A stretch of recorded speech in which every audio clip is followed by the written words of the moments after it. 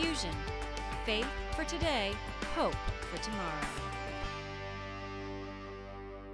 I enjoy roller coaster rides, and you know, it's fun to, to feel the rush of that, but I don't like it when life is like a roller coaster ride.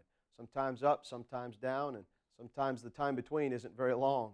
Well, the Bible says in the book of Ecclesiastes, chapter 3, and verse 11, that life is going to be this way. The Bible says He has made everything appropriate in its time. These changing seasons are no surprise to God. Just understand this that because you're on top today doesn't mean you'll always be there, so don't be too arrogant. And then also, if you're down bottom, be encouraged that it's not always going to be this way.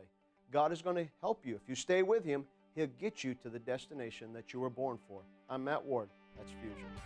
Fusion is an outreach of Charleston Pentecostal Church produced by the New England School of Communications.